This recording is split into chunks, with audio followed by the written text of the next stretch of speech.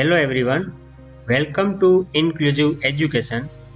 Today we will learn and discuss about Inclusive Education MED SEM 3 and my topic is Unit 2.2 Disability and its Education Implication.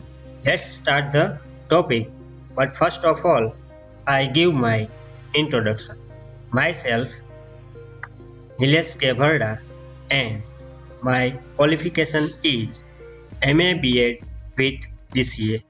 I studying in MEd SEM 3 at Sri Ramba Diet Porbandar and happy to say this presentation is guided by Dr.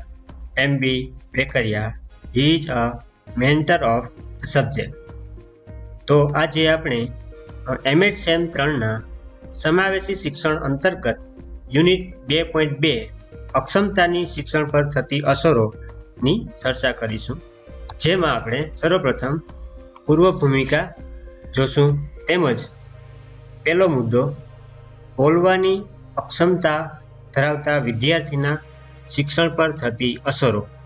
બે, વાંચનની અક્ષમતા ધરાવતા વિદ્યાર્થીના શિક્ષણ પર થતી અસરો. ત્રણ, લેખનની અક્ષમતા ધરાવતા વિદ્યાર્થીના શિક્ષણ પર થતી અસરો.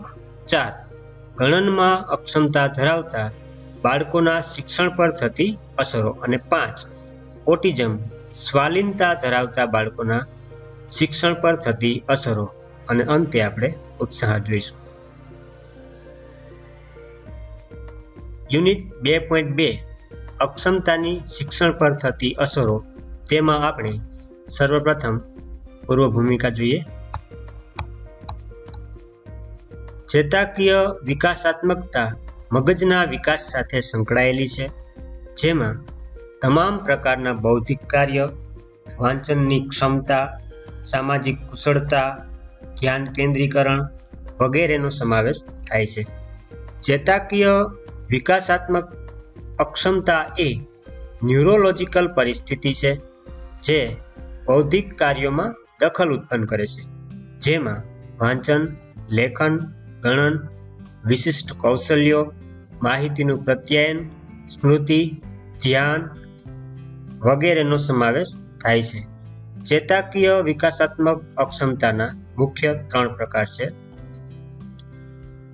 પહેલો, અધ્યયન અક્ષમતા એટલે કે લર્નિંગ ડિસએબિલિટી જેનું શોર્ટ ફોર્મ છે એલડી બીજો પ્રકાર છે, બૌદ્ધિક અક્ષમતા, જેને શોર્ટ ફોર્મ છે આઈડી ઇન્ટરેક્ચ્યુઅલ ડિસએબિલિટી અને ત્રીજો પ્રકાર છે ઓટિઝમ સ્પેક્ટ્રમ ડિસઓર્ડર એએચડી તો આજે આપણે અધ્યયન અક્ષમતાની શૈક્ષણિક અસરો વિશે વાત કરીશું. અધ્યયન અક્ષમતા એવી પરિસ્થિતિઓનો સમૂહ છે કે જેમાં ભાષાની પ્રક્રિયા, એટલે કે મૌખિક અને લેખિતમાં કોઈ ખામી આવે છે, જે સમજવા, બોલવા, વાંચવા લખવા અથવા ગાણિતિક ગણતરીઓ કરવા માટે મુશ્કેલી ઊભી કરે છે. તેમાં પ્રત્યક્ષીકરણની અક્ષમતા, એટલે કે ડિસ્લેક્સિયા, ડિસ્ગ્રાફિયા, ડિસ્કેલ્ક્યુલિયા ડિસ્પેક્સિયા અને વિકાસાત્મક અફેજિયા જેવી અક્ષમતા છે, સમાવિષ્ટ છે. શાળામાં શિક્ષક સમક્ષ જુદી જુદી વ્યક્તિગત ભિન્નતાવાળા વિદ્યાર્થીઓ પ્રતિવર્ષ આવતા હોય છે. તેમની રુચિ, રસ, વલણ, બુદ્ધિઆંક, ક્ષમતા, તાર્કિકતા અને માનસિકતાની ભિન્નતાને ધ્યાનમાં રાખીને અપાતું આજનું શિક્ષણ વિદ્યાર્થી કેન્દ્રી બન્યું છે. પરંતુ બાળકોની પ્રક્રિયામાં જ્યારે કોઈ બાબત અવરોધરૂપ જણાય છે, ત્યારે તેની સીધી અસર તેના અધ્યયનમાં અને વર્તન પર પડે છે. આમ વિદ્યાર્થીની અધ્યયનની અક્ષમતા સંદર્ભે તેના શિક્ષણ પર થતી અસરોની અત્રે વિશદ ચર્ચા કરવામાં આવી છે. જેમાં આપણે પ્રથમ મુદ્દો જોઈશું. બોલવાની અક્ષમતા ધરાવતા બાળકોના શિક્ષણ પર થતી અસરો. બોલવું એટલે કે વાણી સાથે સંબંધિત અક્ષમતા. તો વાણીની ખામીને કારણે બાળક છે, યોગ્ય રીતે વાર્તાલાપ કરી શકતું નથી. તેથી તેની બોલચાલની ભાષાનો વિકાસ થતો નથી. પરિણામે, તે વર્ગખંડમાં આંતરક્રિયા કરી શકતું નથી. વિષય વસ્તુ સાથે સંકળાયેલી સમસ્યાઓ યોગ્ય રીતે રજૂ કરી શકતું નથી, જેની અસર તેની અધ્યયન ક્ષમતા પર પડે છે. સંપૂર્ણ રીતે બોબડું બાળક છે, એ વર્ગખંડમાં મૌખિક આંતરક્રિયા કરી શકતું નથી. તેથી, તે વિષય વસ્તુ સંબંધિત સમસ્યાઓ શિક્ષક સામે રજૂ કરી શકતું નથી. જેના કારણે તે અધ્યયનમાં પાછળ રહી જાય છે. આગળ જોઈએ. આવું બાળક છે, એ અટકી અટકીને બોલતું હોય, તો તેની રજૂઆત અને વાણીમાં સાતત્ય જળવાતું નથી. પરિણામે, તે પોતાની વાતો સ્પષ્ટ રીતે વ્યક્ત કરી શકતું નથી. આવા સંજોગોમાં તે મૌખિક ચર્ચામાં ભાગ લઈ શકતું નથી, જેની અસર તેના શિક્ષણ પર પડતી હોય છે. ભાષાની અક્ષમતા ધરાવતા બાળકો તેમના વિચારોને યોગ્ય રીતે સંગઠિત કરી શકતા નથી. શબ્દોને વાક્યમાં સાચી રીતે ગોઠવી શકતા નથી અને વાક્ય બનાવવા માટે યોગ્ય શબ્દો ઝડપથી વિચારી શકતા નથી. પરિણામે, તેઓ અસ્પષ્ટ વાક્યો બોલે છે અથવા તો તેમના કથનમાં સાતત્યનો અભાવ જોવા મળે છે, જેના કારણે તેઓ પોતાની વાત યોગ્ય સંદર્ભમાં રજૂ કરી શકતા નથી. આવા બાળકો છે એ તાર્કિક રીતે પોતાની વાતો રજૂ કરી શકતા નથી. તેથી તેમની માન્યતાઓ અને વિચારોને યોગ્ય ભાષા આપી શકાતા નથી. શાળામાં શીખવાતી ભાષાઓ અને જે વિષયોમાં વર્ણાત્મક અભિવ્યક્તિ કરવાની થાય, તેવા વિષયોમાં આવું બાળક છે સફળતા મેળવી શકતું નથી. તો આ હતી બોલવાની અક્ષમતા ધરાવતા વિદ્યાર્થીના શિક્ષણ પર થતી અસરો. આગળ જોઈએ આપણે. બે, વાંચનમાં અક્ષમતા ધરાવતા વિદ્યાર્થીના શિક્ષણ પર થતી અસરો. વાંચન અક્ષમતાને ઇંગ્લિશમાં ડિસ્લેક્સિયા તરીકે ઓળખવામાં આવે છે. ડિસ્લેક્સિયા એક પ્રકારનું વાંચન ડિસઓર્ડર છે, જેમાં વિદ્યાર્થી શબ્દોની ઓળખ કરવામાં અને સમજવામાં અસફળ થઈ જાય છે. ડિસ્લેક્સિયામાં ઉચ્ચારણલક્ષી સભાનતામાં મુશ્કેલી અનુભવે છે. તેનાથી થતી શૈક્ષણિક અસરો નીચે પ્રમાણે જોવા મળે છે. આવા બાળકનું ભાષા વિકાસ ઝડપી થતો નથી. તે કારણસર એમને નાના શબ્દો શીખવવામાં, કાવ્ય પઠન કરવામાં મુશ્કેલી થાય છે. સામાન્ય બાળકની અપેક્ષાએ તેમનું વાંચન સ્તર ખૂબ ઓછું હોય છે. તેમને વાંચવાનું શીખવાડવામાં પણ મુશ્કેલી થાય છે. આગળ જોઈએ તો, સાંભળેલી સૂચનાને તેઓ ગ્રહણ કરી, કરવામાં અને સમજવામાં મુશ્કેલી અનુભવે. વસ્તુઓના ક્રમ યાદ રાખવાનું એમના માટે મુશ્કેલ હોય છે. સમાન જેવા અક્ષરો અને શબ્દો વચ્ચે તફાવત શોધવાનું પણ તેઓ તેઓ માટે મુશ્કેલ હોય છે. અજાણ્યા શબ્દોના ઉચ્ચારણ કરવામાં પણ મુશ્કેલી અનુભવે છે. સાચી જોડણી લખવામાં મુશ્કેલી. આવું બાળક છે એ વિદેશી ભાષા શીખવવા શીખવી એમના માટે ખૂબ જ મુશ્કેલી હોય છે. આપેલી વસ્તુને સ્મરણ કરવામાં પણ મુશ્કેલી અનુભવતા હોય છે. પણ ડિસ્લેક્સિયાથી પીડાતા એવા કેટલાક લોકો છે. એટલે એવું કહી શકાય કે ડિસ્લેક્સિયાથી પીડિત બાળક હોય તે જીવનમાં કંઈક આગળ વધી શકતા નથી. પરંતુ એવું નથી.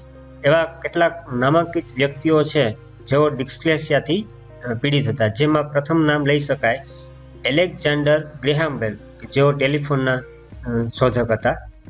બીજું નામ છે ટોમ ક્રુઝ. એ પણ એક અભિનેતા હતા. તમે ચિત્રમાં જોઈ શકો છો. અને ત્રીજું નામ લેવું હોય તો સ્ટીવ જોબ્સ, એટલે કે એપલના સહસ્થાપક તો આવા નામાંકિત વ્યક્તિઓ પણ ડિસ્લેક્સિયાથી પીડિત હતા અને આજે ટોચ પર છે. તો આ હતી વાંચન અક્ષમતા ધરાવતા વિદ્યાર્થીના શિક્ષણ પર થતી અસરો. નેક્સ્ટ જોઈએ આપણે. ત્રીજું છે, લેખનમાં અક્ષમતા ધરાવતા બાળકોના શિક્ષણ પર અસર. લેખન અક્ષમતાને ઇંગ્લિશમાં ડિસ્ગ્રાફિયા તરીકે ઓળખવામાં આવે છે.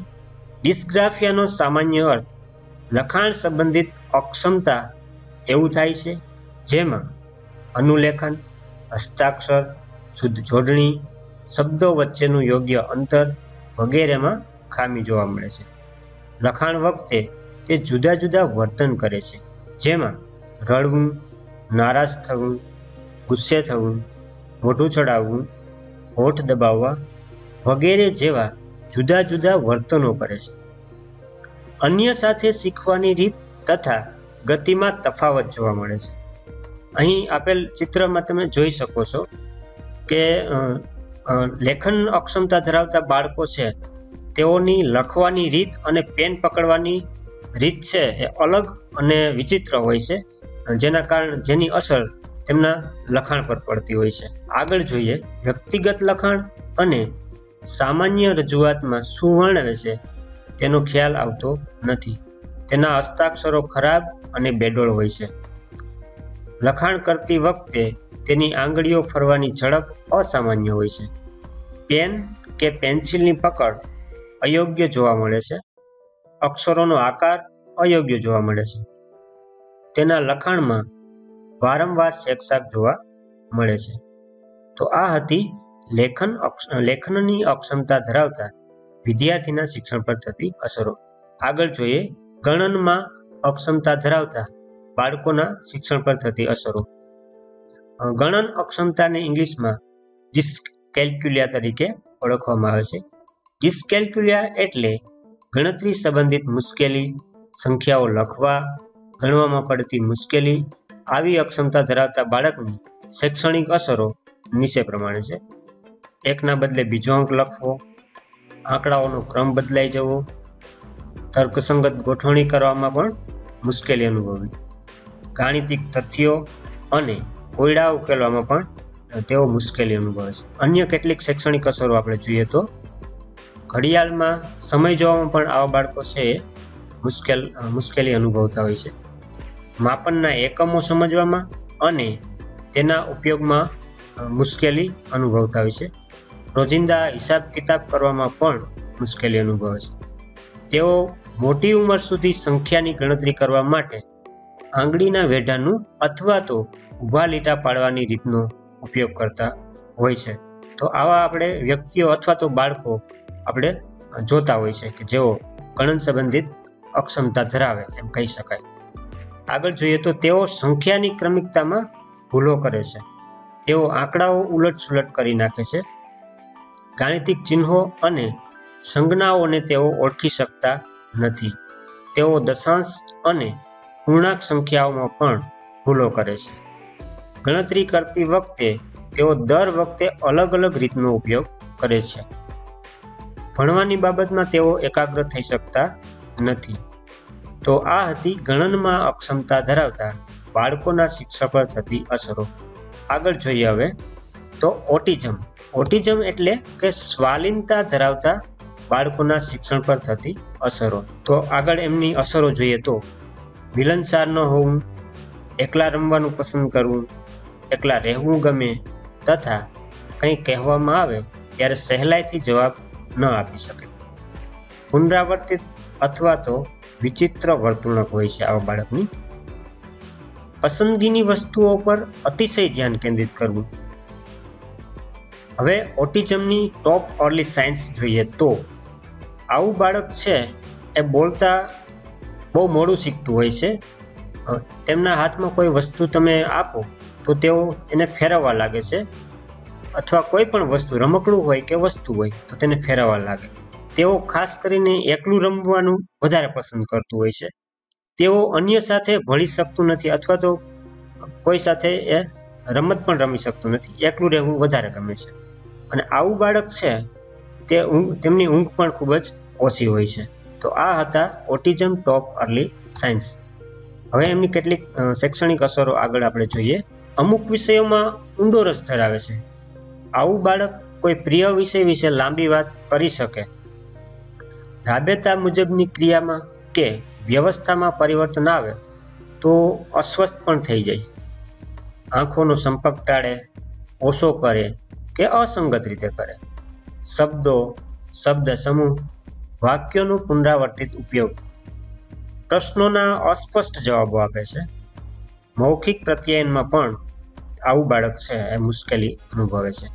આગળ જોઈએ તો, સામાજિક અનુકરણ અને પારસ્પરિક રમતમાં મુશ્કેલી અનુભવે.